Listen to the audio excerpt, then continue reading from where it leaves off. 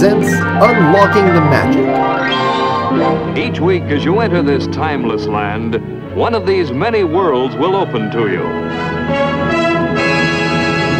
Frontierland, Tomorrowland, Adventureland, Fantasyland, the happiest kingdom of them all. And now, your hosts, Gavin and Patrick. Hello and welcome to Florida E-Ticket presented by Orlando Attractions Magazine. Patrick, what are you doing? I'm trying to find Liberty Square. Yeah? On what? That's Disneyland. I know. It's the blueprints for Disneyland. So I'm trying to find Liberty Square on it. Well, Disneyland has never had Liberty Square. That's only at the Magic Kingdom and Disney World. But there's a Haunted Mansion in Liberty Square. So there has to be one in Disneyland. Yeah, well, Disneyland does have the Haunted Mansion, but they actually have that in New Orleans Square. So it's kind of the same thing, but it is different. It's a totally different theme, and you won't find Liberty Square at Disneyland. It's only at Disney World. Well, then I have to find Liberty Square in Magic Kingdom. Well, I'll take you there. How about both of us go there in the future? Let's go to 2016. You know what? 1776. That's more appropriate. Let's go explore 1776 Liberty Square. As you enter Liberty Square, you're entering the colonial era of America, and these buildings are all brick and very reminiscent of Williamsburg, Virginia. Now, it's home to some of my favorite attractions, the first one being the Hall of Presidents. Let's go check it out. The Hall of Presidents opened up with the park in 1971. It's definitely changed throughout the years. Now this is a really good place to go in the summer months because when it's hot outside, it's dark and always air conditioned inside. Now you can actually see every president on stage. It's the only place in the world that you can do that, and some of them even talk.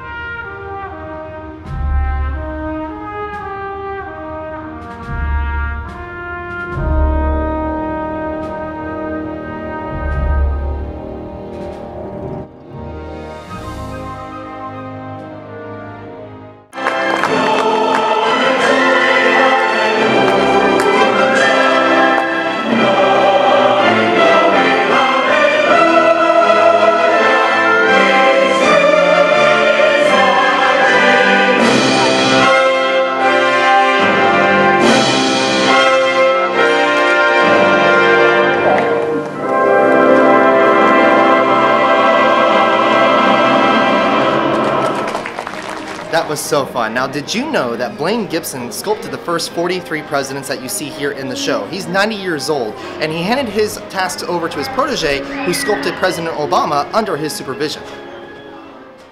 Now, if you're looking for a snack after you get out of the Hall of Presidents, I'll let Patrick tell you about that. There are some great snack options here in Liberty Square. Now, once in Liberty Square, you have to try Sleepy Hollow refreshments. They have an unbelievable chocolate Nutella waffle. Look at this. This is my go-to place whenever I want something small.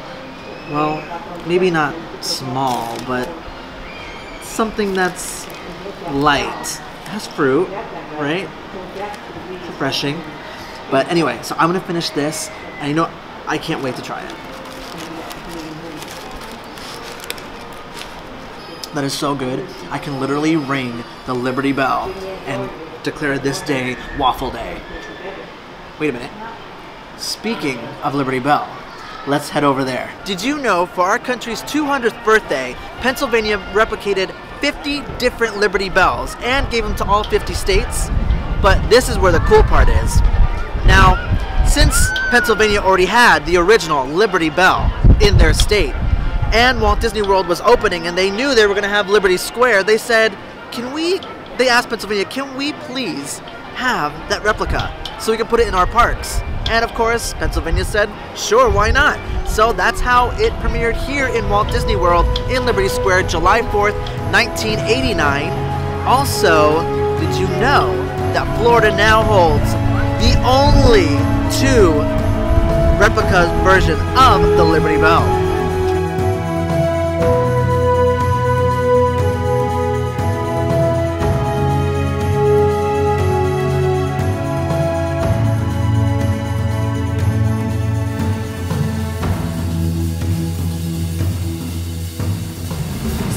Bells, now I love Christmas bells, and if you're here in the summertime, you got to get your Disney Christmas merchandise, and you come to the Ye Olde Christmas shop, and it's full of cool stuff. We'll take a look at that. Now, there's also a parasol cart. That's really cool. Now, don't get parasols confused with umbrellas. They are different, and they have customized, designed uh, parasols here that are made by hand every day in the park. And across the street from that, you have the Liberty Square Art Gallery, which is really cool. So you can get some portraits done and caricatures, things like that. But uh, let's head inside and take a look at what they got.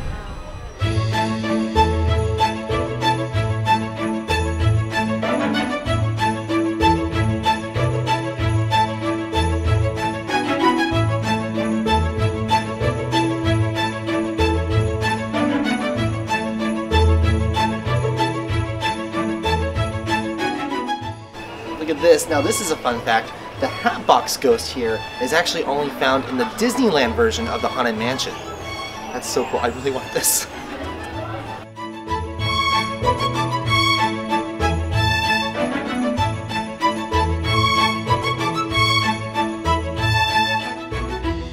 Now there are some merchandise locations around Walt Disney World that will actually personalize your Christmas ornament so you can put your family's name on it and the year.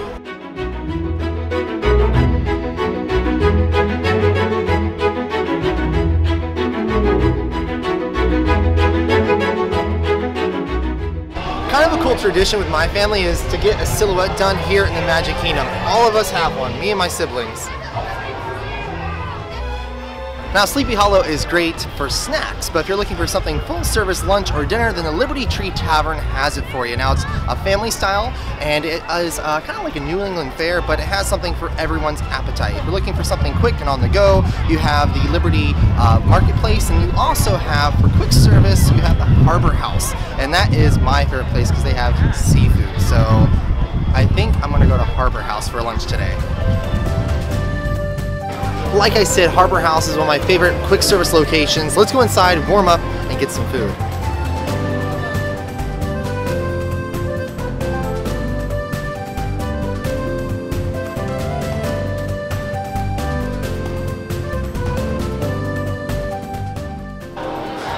So my favorite thing to get here is the fish and chicken platter with french fries and apple slices. But I love their french fries, they're really good here.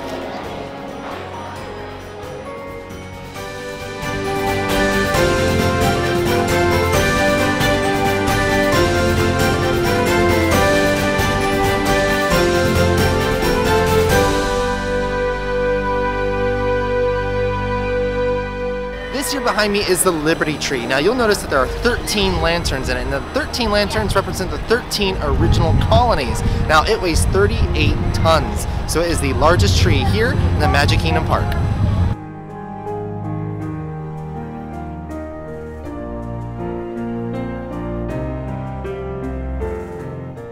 Did you know if you find the window in the house located next to the door with the number 26 on it, you will see two lanterns that represent Paul Revere's warning that the British were arriving by sea. If you look in the center of the street, you'll see some irregular brown paving concrete. This represents the sewage that would run down the center of the streets in the days before sewer systems. You just gotta love that Disney detail. If you're looking something to do that's nice and calm and relaxing outside on a beautiful day like this, then you gotta check out the Liberty Bell Riverboat. The Liberty Bell is an authentic replication of an actual old paddle steamboat. Now this offers you scenic views of Liberty Square, Frontierland, and also Tom Sawyer Island. It holds 450 people and it's a really nice thing to do when it's really busy in the park because the crowds here are not that bad. It's beautiful. Come on.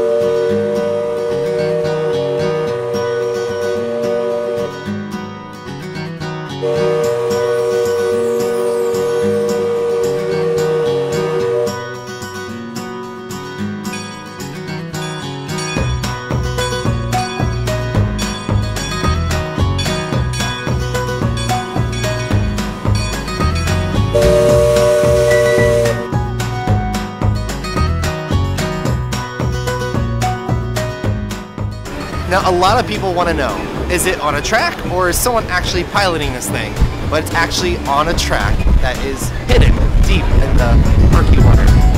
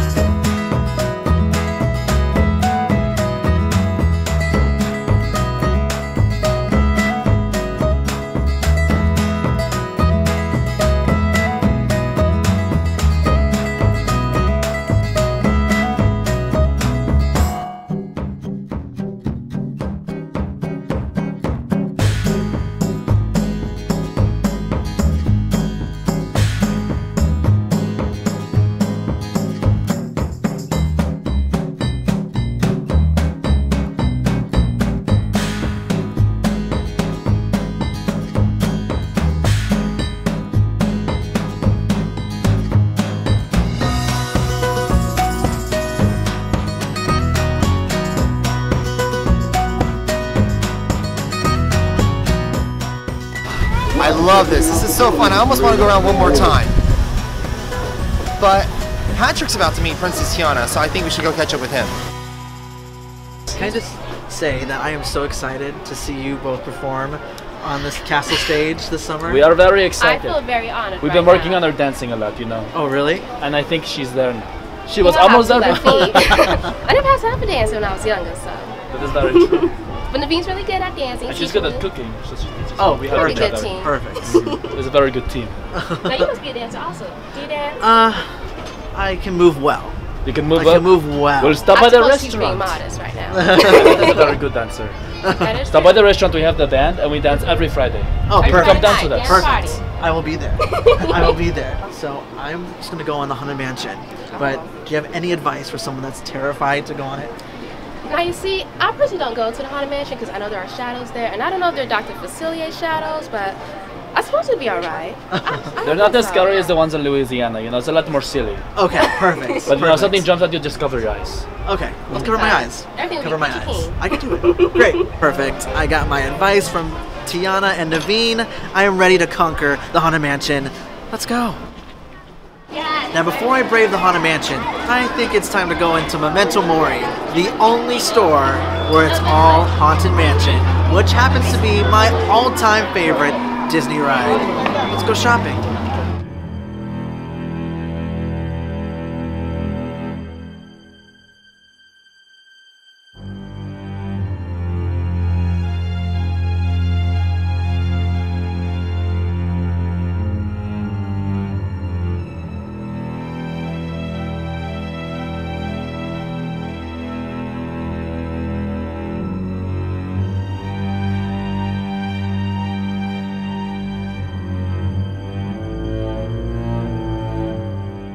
All right, so I've got to brave this. Um, even though this is my favorite attraction, it still scares me. I may be turning 30 this year, but you know what? I will admit I am scared of this ride. I think it's just like the dark spots. I mean, who else? Come on. If, you, if this scares you too, comment down below. But side note, so this actually is the same model as the one at Disneyland, even though the houses are different. That's a plantation house over in California, and this one's a little more towards for Liberty Square. But let me tell you what, I don't want to do it. Okay, I do. I do. The reality is, I really want to go on it. Let's go.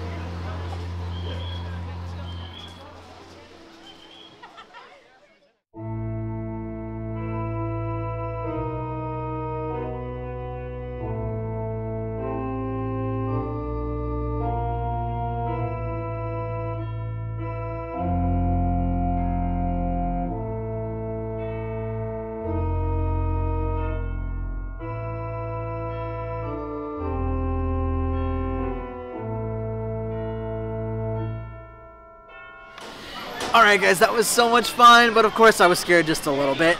But what you cannot miss when you look to your left when you exit Pet Cemetery, can't miss that. Because you might find a familiar face of an attraction that closed in Fantasyland a while back.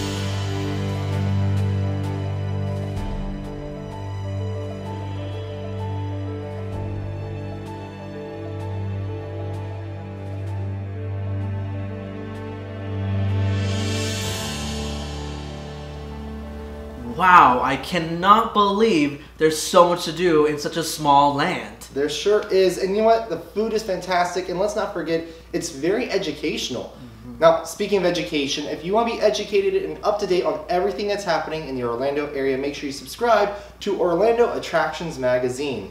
And again, our future selves told us to tell you to follow us on something called a Twitter and a book that is Face and a, a gram that is Insta, such as an Instagram. No idea. At Florida E-Ticket.